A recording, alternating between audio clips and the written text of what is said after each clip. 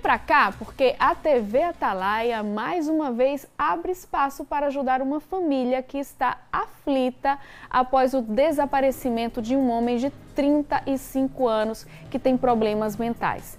Segundo a irmã, ele sempre saía e voltava, mas dessa vez está demorando muito. Vinícius Mecenas conversou com a mulher e tem mais detalhes. O homem que está desaparecido atende por João de Deus dos Santos.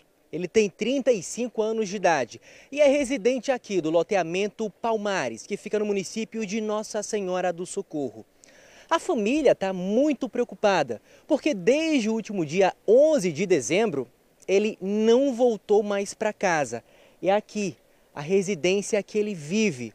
O João ele tem sérios problemas mentais, uma síndrome e é essa história que a gente vai conhecer melhor agora. E essa daqui é a residência em que ele morou por muitos e muitos anos. Com a gente aqui, parte da sua família, a dona Joelma, a Jéssica, que é a irmã, né, familiares aqui do João de Deus. Quer dizer, vocês já procuraram, né, desde o dia 11, mas até agora sem sucesso. É, sem sucesso, porque ele aparece, quando ele vê a pessoa conhecido, ele foge, né? Ele já fez isso outras vezes? Já, já fez, agora já fez três vezes já, já é três vezes que ele que foge. ele foge. É. Duas vezes, aí espancaram ele, da primeira vez espancaram ele, quase mataram ele, para a banda da, da, da, da, pista nova, né? Aí a Sam, Samu levou. E, e outra vez foi lá para a banda do Marco Freire 3, que espancaram, quem levou foi a Samu, pegou também e levou. Aí eu já fui encontrar com ele lá no Hospital São José. Agora me fala o seguinte, ele sofre de problemas mentais, né? Ele tem uma síndrome, aqui tem dos laudos também, né? É, ele tem um, um, um distúrbio mental, é. Aí se ele não tomar o remédio, aí ataca. Aí já tem dois meses que ele está com crise. Infelizmente vocês não têm nenhum resultado, né? Não, não. Ele vai para o Hospital São José, aí Passou 15 dias, depois teve alta. O João de Deus dos Santos, ele já foi visto em outros municípios, né? Já, foi visto em Itabaiana, que era onde meu pai morava, mas ele, né? Em Itabaiana, no Barra Américo, já viram ele.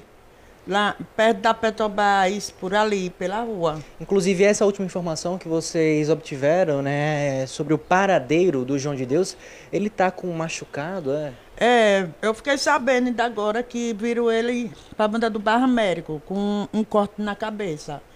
Eu acho que espancaram ele, né? Como é que fica a família dentro da situação como a, essa? A família fica aperreada, né? Com medo de, de receber uma notícia ruim, né? Tem quatro anos que ele está morando comigo. Aqui mora quem com vocês? Mora eu, ele minha e meu marido. E como é a relação dele com vocês? Ele é uma pessoa agressiva? Ele é tranquilo quando está assim medicado? Não, ele é tranquilo quando está medicado. Agora quando está num, num, surto, aí ele fica meio agressivo. É um pouquinho, né, agressivo.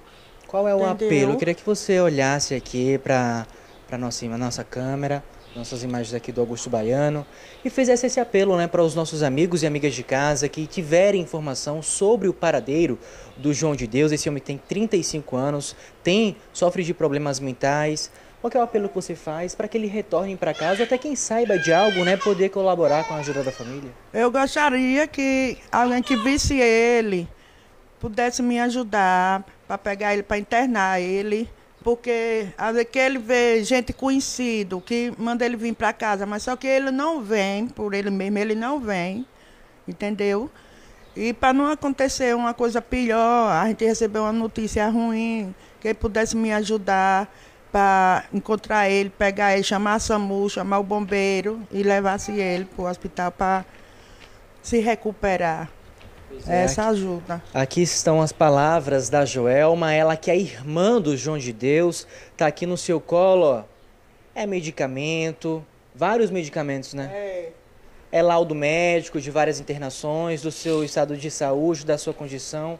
Família aqui, todo mundo presente, né? Fazendo esse apelo para você que está nos acompanhando, se tiver alguma informação que possa colaborar, né, de onde está o João de Deus, sobre o seu paradeiro, entre em contato, né? Entre em contato aí com o pessoal para dar essas informações e ajudar a fazer com que o João volte para casa para que ele receba todos os cuidados necessários. Olha, o apelo que a gente faz também é para que você, caso tenha alguma informação que possa ajudar a família, você passe que com certeza vai ser de muita valia para essa família que está desesperada. Mas vamos evitar os trotes, porque infelizmente tem pessoas que se aproveitam desse momento de fragilidade das pessoas para passar trote. Então, só entre em contato com essa família se realmente você puder ajudar com alguma informação que possa localizar o João de Deus.